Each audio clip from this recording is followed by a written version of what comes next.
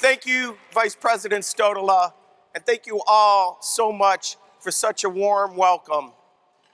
This applause is really for all of you because NLC is all about our members. Your dedication to service to your communities is what brought you here today. And by, on behalf of the National League of Cities officers and board of directors, thank you. Together, we are making America's cities strong. I want to thank Mayor Bill Peduto and the amazing staff at the City of Pittsburgh. They worked tirelessly to make the very first City Summit a success. Don't you agree? Let's give them a big round of applause. I also want to thank our CEO of our organization, Clarence Anthony, and the NLC staff. They put on a great conference, didn't they? Do you agree? I've known Clarence and many of the NLC staff for years, and I can tell you, they are truly dedicated to your success and to the success of America's cities. I'd now like to take a moment to recognize my colleagues from Cleveland. I'd like to recognize my mayor, Frank Jackson, Council President Kevin Kelly, and my fellow council members at the City of Cleveland, my colleagues from the mayor's administration, and of course, my faithful assistant, Blanca Salva. Would you all please rise and give them a nice, warm appreciation? Come on, stand, guys. Cleveland's in the house.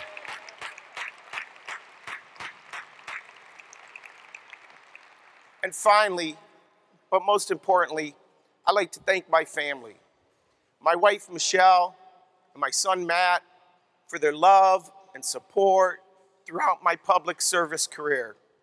Michelle, you've been by my side for 32 years. When we, when we first met, when she saw me breakdancing, some of you might even saw some of that last night, when I started a group called Project Five. I may not have all the moves I used to have, but you're still by my side, Michelle. I love you. You're my best friend.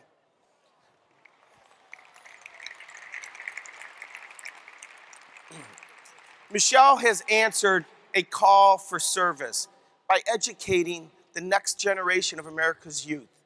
I love you and thank you for what you do for our children back home in Cleveland. I also want to thank our son Matt, who could not join us today in Pittsburgh because he was called to duty with the Ohio Army National Guard. Matt,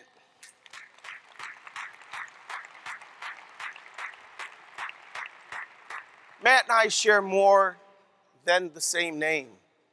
Matt has heard the call to serve.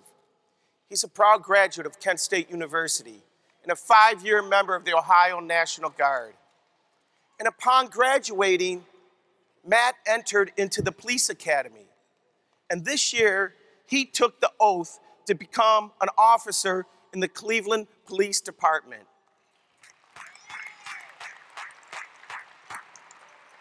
I am so proud that he will serve and protect the residents of our great city. He is exactly the type of person we need in community policing today. I'd also like to recognize two of my sisters who are with me today my sister Beth, my sister Madeline. Thank you for being here. I could not have made it this far without your love and support. You know, it's tough growing up in a big family, right? Um, it's like I had five moms. Um, like my son, every local official in this room has heard and answered a call to service. You have assumed the weight and responsibility of leadership, and your communities depend on you. They depend on you to do the job and get things done when they've been shortchanged by their state and federal leaders who care more about politics than promises. They depend on you to grow your economies, provide jobs, and maintain the infrastructure that supports everything from roads to broadband. And they depend on you to build strong and healthy communities where everyone has opportunities to achieve success. You know, I'm honored that you have given me this opportunity to lead the National League of Cities in 2017. And I want you to know that over the next 12 months, you can depend on me. You can depend on me to bring forward the great work being done in your cities as we strive to build a better future. I will work to create federal and local partnerships, and I will fight hard for cities and the priorities they need. We are at a historic point in time. This presidential campaign was brutal, grueling, and divisive. It seems like we barely discussed the issues in between crude remarks, insults, and distractions. In this election, less than six out of every 10 US adults elected the 45th US president, the most powerful per- person on the planet. That's one and a half million fewer voters than in 2012. And only about 28% of eligible voters voted in our primary. We need to get people engaged. Since 1980, the turnout in presidential general elections has never surpassed 60%. And in 2012, it was just 53%. Woody Allen once said 80% of success is just showing up. And by that measure of voting participation success, we have a long way to go. I know something about the power of one vote. In 1990, my brother in law, Lee Fisher, who's here with me today, was elected Ohio Attorney General in the closest statewide election in Ohio history. His margin is easy to remember one, two, three, four. 1,234 votes out of 3.4 million votes cast. Less than one vote per precinct, earning Lee the nickname Landslide Lee. Love you, Lee. Thank you. Lee Fisher knew more about hanging chads long before Al Gore. Lee, you've been a role model, a mentor to me ever since the day we lost dad. Um, and so thank you, I love you. And on the local level, we've stayed focused. We've stayed focused on the issues that matter. NLC this year formed the bipartisan presidential election task force, co chaired by my friends, Mayor Karen Freeman Wilson of Gary, Indiana. Where are you at, Karen? And Betsy Price of Fort Worth, Texas. We launched our City Leads 2016 campaign, which focused on three priorities public safety, infrastructure, and the economy. You know, I've always found that NLC is a great place to exchange ideals and to help us build better cities for our future.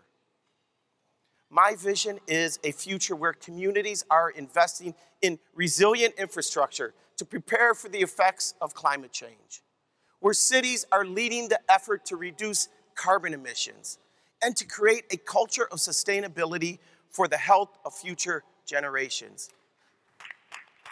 Let's face it, all of the inner innovations is happening in cities. We are the learning, living laboratory. And I want to thank you who have embraced this back home in your cities. We need a future where our residents and the police have a relationship that is built on trust and community where being black in America doesn't mean you are three times more likely to have your car searched in a traffic stop or six times more likely to be arrested. A future where the color of your skin doesn't predetermine your life's outcomes, your access to education, your earning potential, or your chance at a fair treatment from our institutions and policies. We must build a future where every one of us has economic mobility and opportunity. And we must be intentional about promoting equity in all of our policies and projects. And that, and that work begins right here in Pittsburgh. So I am charging all of our committees and councils to make economic mobility and opportunity a pillar a pillar that supports our work in America's cities. You know, the future belongs to the cities and towns who can help their residents achieve their dreams, where everyone can participate and succeed and are invested in the future. When we talk about the future, it's important to understand where we come from. So, I want to tell you a little bit about my past. I grew up in the Detroit Shoreway neighborhood on the lower west side of Cleveland.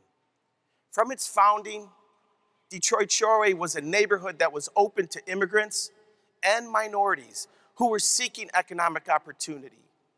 The neighborhood first attracted German and Irish immigrants.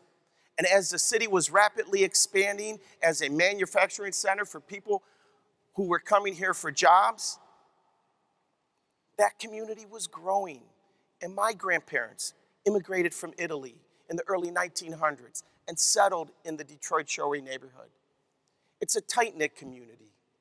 My dad, Michael J. Zone,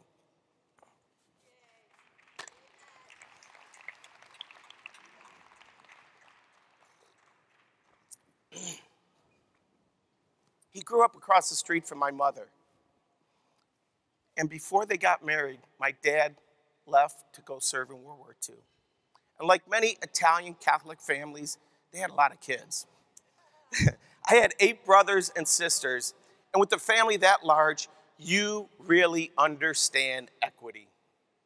In fact, my mother used to tell me, I love all my children. I just need to love some a little more than others. Right, Beth? My parents started a small business, the Zone Food Market. And seven years later, they started a travel agency. And by the time I was born, my father was already serving on Cleveland City Council. He worked hand in hand with my mother for more than 14 years, serving the members of my community. A community that throughout the 1960s and 70s was growing increasingly diverse. And he also became active in the National League of Cities. He became active in NLC and getting involved and going to conferences like this one today. My dad suffered a fatal heart attack in 1974 when he was just 54 years old, a year older than I am now. And he passed away of a sudden and unexpected death, which stunned our family and our community. My mother was suddenly confronted with the weight of losing a partner and a provider and raising a large family on her own. Her strength and resolve during that period continues to inspire me today. My brothers and sisters and I knew that she was tough and that she was in a unique position to continue the work that she and my father had done to build a stronger community. After my dad's death, the council president came over to our house and he urged my mother to finish out my dad's term. She answered the call to service and went on to win the next three elections and gain a remarkable amount of influence in the city hall.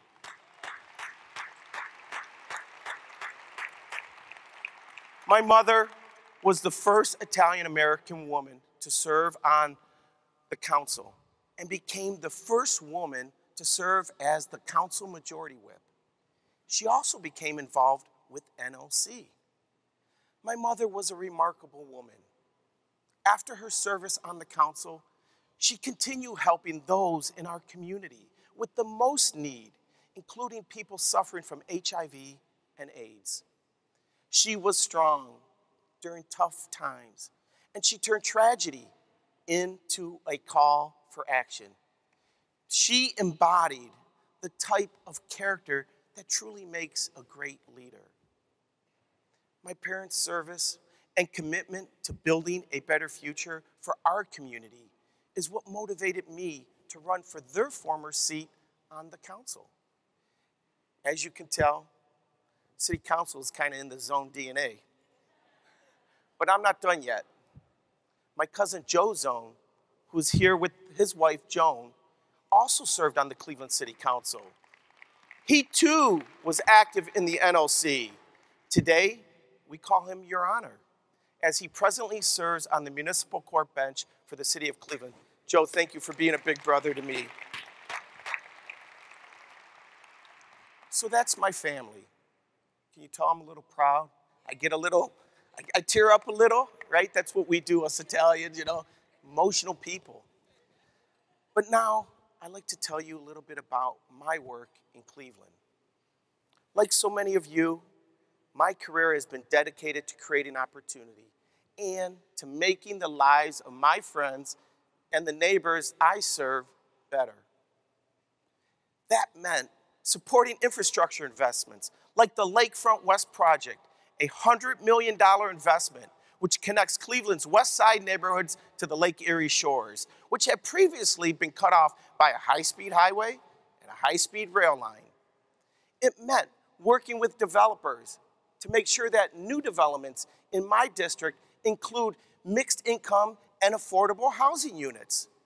We've built more than 1,000 units of permanent supportive housing for the homeless in Cleveland since I've been on office, including transforming the contaminated Eveready battery factory site into one of the largest housing developments, no, the largest housing development in the city of Cleveland. And it means supporting entrepreneurships and small businesses like the Gordon Square Arts District in my neighborhood. It's where 90 new businesses have opened up since 2007, all local. And we've transformed this economically stagnant business district by applying inclusive redevelopment strategies that capitalize on the unique character and culture and history of our area. The result is a vibrant arts district that maintains its character and the lifelong residents who live there without the gentrification that too often accompanies development.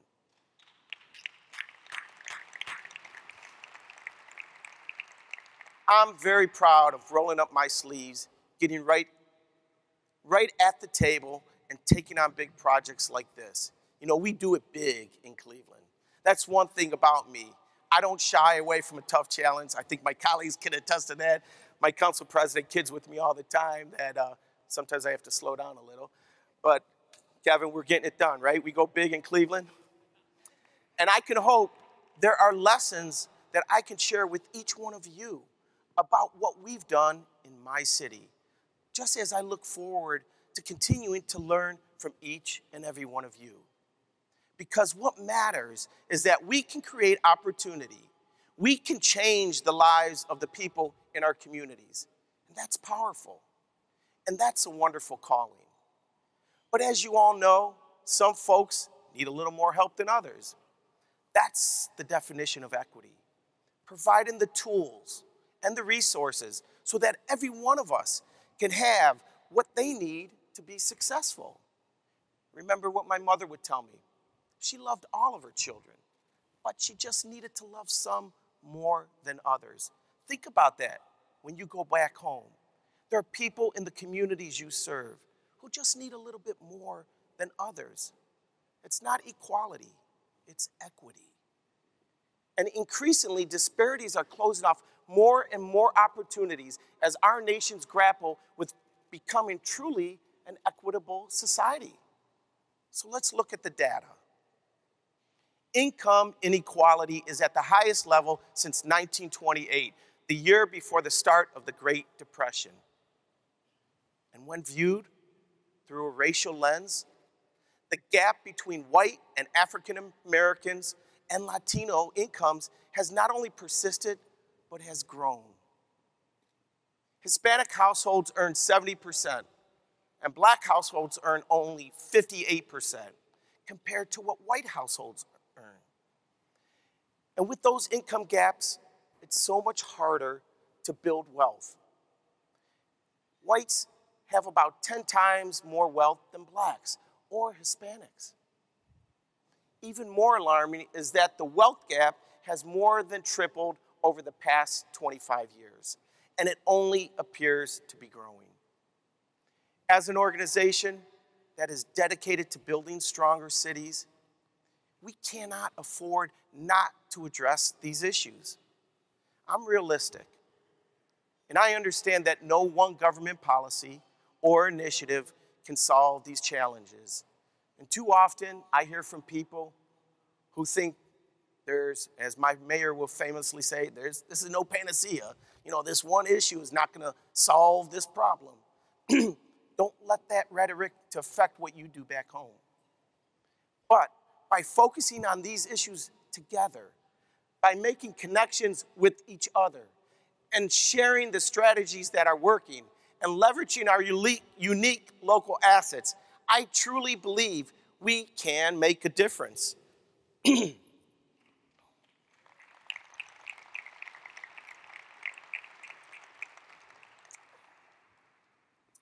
think I was doing a little too much celebrating last night. I apologize.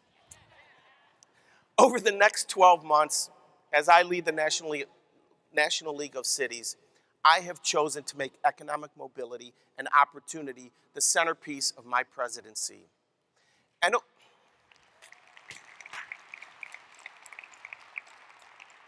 NLC is creating a new initiative that will raise the visibility of local efforts that have the potential to increase economic mobility, expand economic opportunity, and reduce income inequalities in cities across the nation. I'm honored to work with some amazing people at City Hall, and I want to specifically recognize Natoya Walker Minor, who's taught me so much about this issue, which has motivated me to take on this issue this year. So today, I'm announcing that I am forming a task force on economic mobility and opportunity to bring together mayors and council members from across the country to provide leadership on these incredibly important issues. And I'm honored that Atlanta's Mayor Kasim Reed will chair this task force. He is truly a great mayor and the right guy to lead this task force. I want to recognize my own council colleague, Councilwoman Phyllis Cleveland, who will serve on that task force. She chairs our city's Workforce and Community Benefits Committee and does an amazing job making sure that everyone has a seat at the table. This new initiative will shine a light on local efforts that will help people move up the economic ladder in cities across our nation. The ultimate goal of this initiative is to move us from talking about these vexing national problems to taking practical action steps as part of a nationwide response.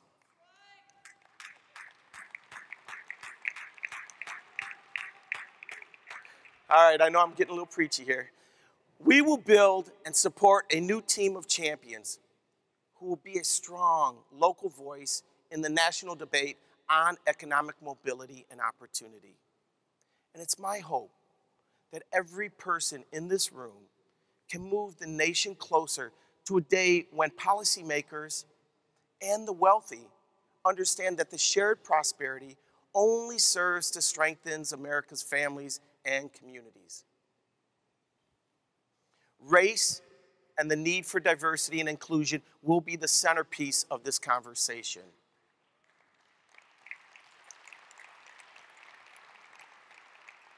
NLC's Race, Equity, and Leadership Initiative, or REAL for short, provides us with an important racial equity lens.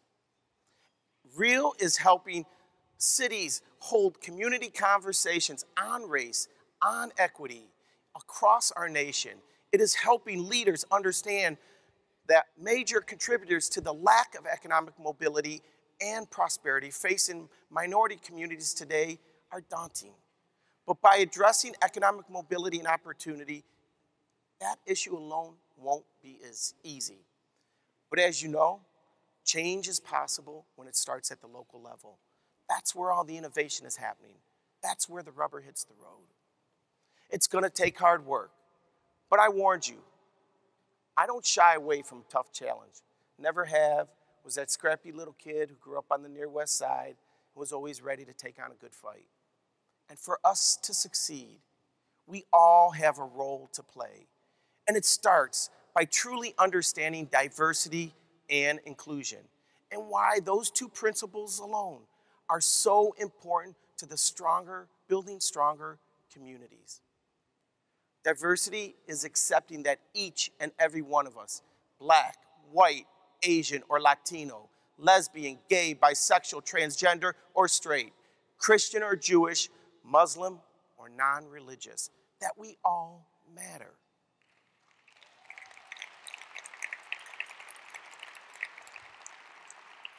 And that we all have worth. And that we can all succeed if we are given that opportunity to participate in economic prosperity of this great nation. You know, diversity looks at bringing our past experiences with us. Like the story I told you about my family who immigrated to this country, helping us creating a richer experience because we have a lot to learn from people who are not like ourselves. Inclusion is identifying the strategies that make sure we are diverse, that no one is excluded for who they are. Local leaders, we have the power to make diversity and inclusion a part of every ordinance and every policy that we pass back home. But we have to be intentional and we have to make it a priority. I have the faith that our cities and our nations can come together and make this happen.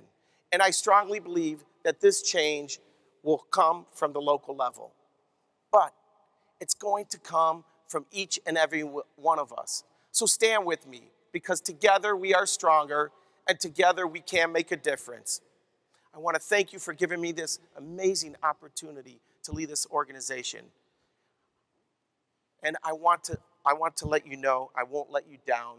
This is really important. Please work through this committee structure here at NLC to you committee chairs of our councils and committees. You know who, who, who you are. We are going to make sure that this work gets permeated in what we do as an organization and that we take these policies and practices back, back home. Thank you for giving me the opportunity to serve this community. I love you. Thank you.